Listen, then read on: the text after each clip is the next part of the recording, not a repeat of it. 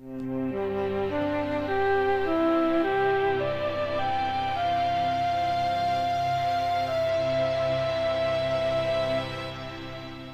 evening. Tonight we're reading Through the Looking Glass and What Alice Found There by Lewis Carroll.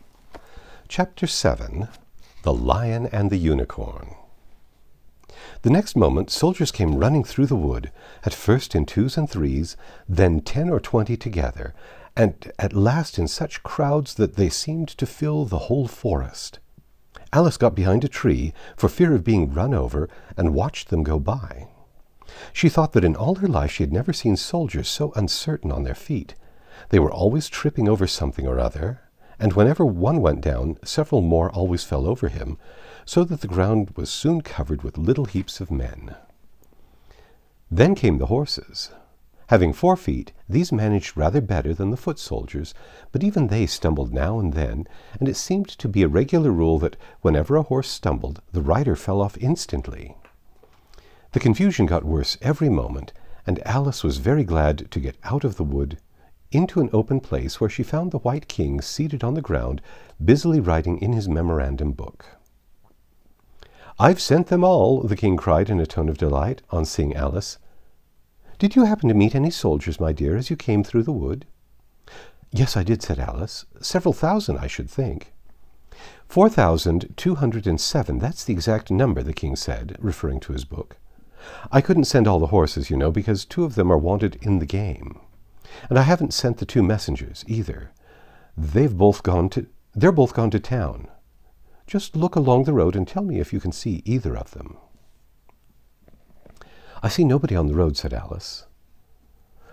I only wish I had such eyes, the king remarked in a fretful tone. To be able to see nobody and at that distance, too. Why, it is such as much as I can do to see real people by this light.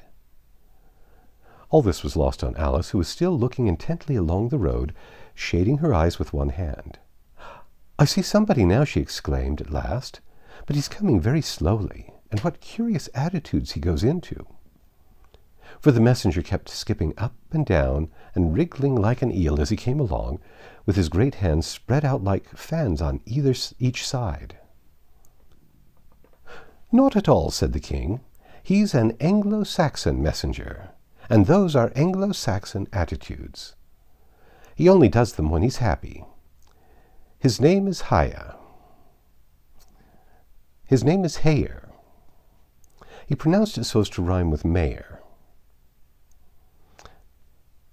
I love my love with an H, Alice couldn't help beginning, because he is happy. I hate him with an H because he is hideous. I fed him with, with ham sandwiches and hay. His name is Haigha, and he lives. He lives on the hill, the king remarked simply, without the least idea that he was joining in the game, while Alice was still hesitating for the name of a town beginning with H. The other messenger, the other messenger is called Hatta. I must have two, you know, to come and go, one to come and one to go. I beg your pardon, said Alice. It isn't respectable to beg, said the king. I only meant that I didn't understand. Why one to come and one to go? Don't I tell you, the king repeated impatiently, I must have two, one to fetch and carry. I must have two to fetch and carry, one to fetch and one to carry. At this moment the messenger arrived. He was far too much out of breath to say a word, and could only wave his hands about and make the most fearful faces at the poor king.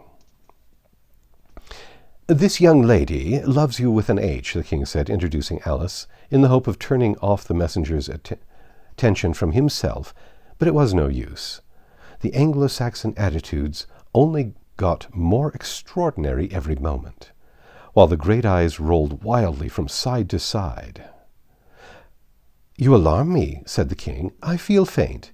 Give me a ham sandwich. On which the messenger, to Alice's great amusement, opened a bag that hung round his neck and handed a sandwich to the king, who devoured it greedily.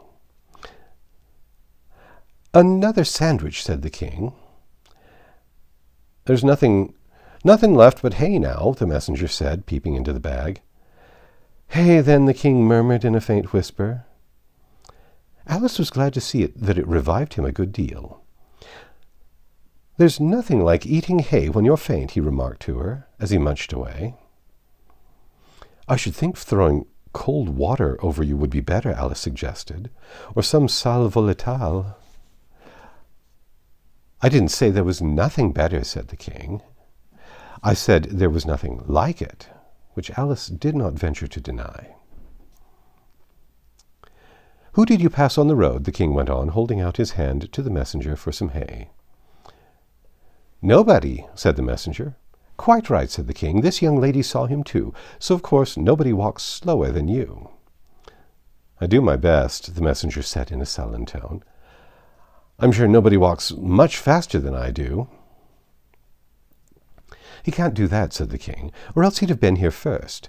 However, now you've got your breath, you may tell us what's happening what what's happened in the town.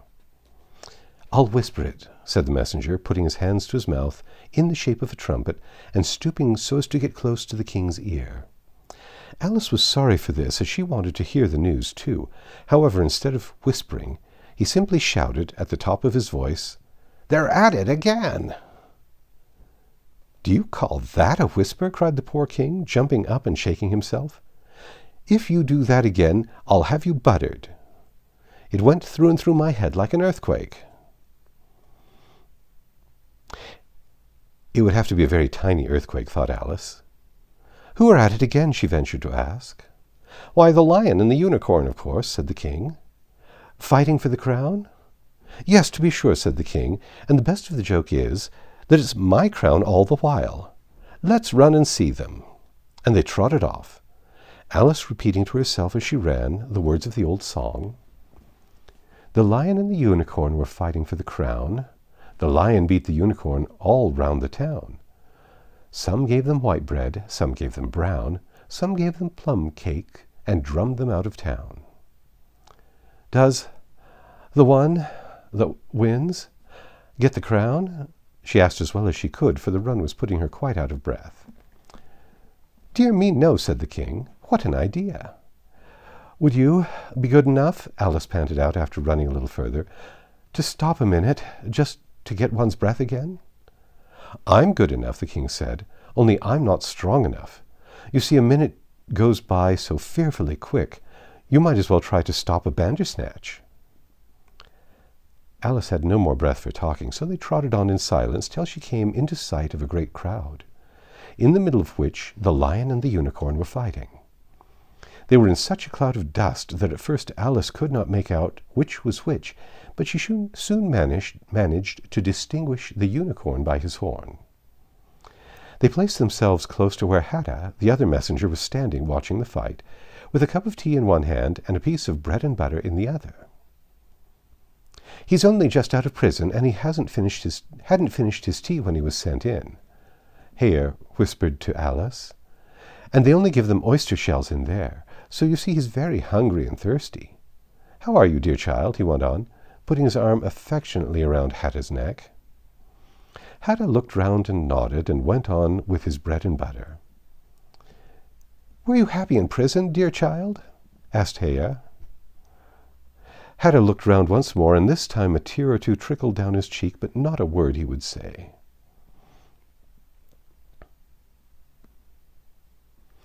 Speak, can't you? Haigha cried him impatiently, but Hatta only munched away and drank some more tea. Speak, won't you? cried the king. How are they getting on with the fight? Hatta made a desperate effort and swallowed a large piece of bread and butter. They're getting on very well, he said in a choking voice. Each of them has been down about eighty-seven times. Then I suppose they'll soon bring the white bread and the brown, Alice ventured to remark. It's waiting for 'em now, said Hatta. This is a bit bit of it I'm eating. There was a pause in the fight just then, and the lion and the unicorn sat down panting, while the king called out, Ten minutes allowed for refreshments. Haigha and Hatta went to work at once, carrying around trays of white and brown bread. Alice took a piece to taste, but it was very dry. I don't think they'll fight any more today, the king said to Hatta. Go and order the drums to begin. And Hatta went bounding away like a grasshopper. For a minute or two Alice stood silent, watching him. Suddenly she brightened up. Look, look, she cried, pointing eagerly. There's the White Queen running across the country. She came flying out of the wood over yonder. How fast those queens can run! There's some enemy after her, no doubt, the king said, without even looking round. That wood's full of them. But aren't you going to run and help her? Alice asked, very much surprised at his taking it so quietly. No use, no use, said the king. She runs so fearfully quick, you might as well try to catch a bandersnatch. But I'll make a memorandum about her if you like. She's a dear good creature, he repeated softly to himself as he opened his memorandum book. Do you spell creature with a double E? At this moment the unicorn sauntered by with his hands in his pockets. I had the best of it this time, he said to the king, just glancing at him as he passed. A little, a little, the king replied, rather nervously. You shouldn't have run him through with your horn, you know. It didn't hurt him, the unicorn said carelessly. And he was going on when his eyes happened to fall upon Alice. He turned round instantly and stood for some time looking at her with an air of the deepest disgust. What is this? he said at last. This is a child, Haigha replied eagerly, coming in front of Alice to introduce her and spreading out both his hands toward her in an Anglo-Saxon attitude. We only found it today. It's as large as life and twice as natural. I always thought they were fabulous monsters, said the unicorn. Is it alive? It can talk, said Haigha solemnly. The unicorn looked dreamily at Alice and said, Talk, child. Alice could not help her lips curling up into a smile as she began. Do you know, I always thought unicorns were fabulous monsters too. I never saw one alive before. Well, now that we have, have seen each other, the unicorn said, if you'll believe in me, I'll believe in you. Is that a bargain? Yes, if you like, said Alice. Come, fetch out the plum cake, old man, the unicorn went on, turning from her to the king. None of your brown bread for me. Certainly, certainly, the king muttered, and beckoned to Haigha. Open the bag, he whispered. Quick! Not that one. That's full of hay. Haigha took a large cake out of the bag and gave it to Alice to hold, while he got out a dish and carving knife. How they all came out of it, Alice couldn't guess. It was just like a conjuring trick, she thought. The lion had joined them while this was going on. He looked very tired and sleepy, and his eyes were half shut. What's this? he said, blinking lazily at Alice and speaking in a deep, hollow tone that sounded like the tolling of a great bell. Ah, what is it now? the unicorn cried eagerly. You'll never guess. I couldn't. The lion looked at Alice wearily. Are you an animal, or vegetable, or mineral? he said, yawning at every other word. It's a fabulous monster, the unicorn cried out before Alice could reply. Then hand out the plum cake, monster, the lion said, lying down and putting his chin on his paws. And sit down, both of you, to the king and the unicorn. Play fair with the cake, you know. The king was evidently very uncomfortable at having to sit down between the two great creatures, but there was no other place for him what a fight we might have for the crown now, the unicorn said, looking slyly up at the crown, which the poor king was nearly shaking off his head, he trembled so much. I should win easily, said the lion. I'm not so sure of that, said the unicorn. Why, I beat you all around the town, you chicken, the lion replied angrily, half getting up as he spoke. Here the king interrupted, to prevent the quarrel going on. He was very nervous, and his voice quite quivered. All round the town? he said. That's a good long way.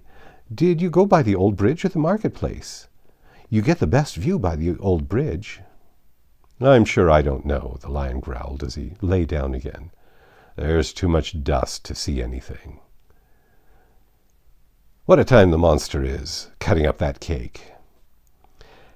Alice had seated herself on the bank of a little brook with the great dish on her knees and was sawing away diligently with the knife. It's very provoking, she said in reply to the lion. She was getting quite used to being called the monster. I've cut several slices already, but they always join on again. You don't know how to manage looking glass cakes, the unicorn remarked. Hand it round first and cut it afterwards.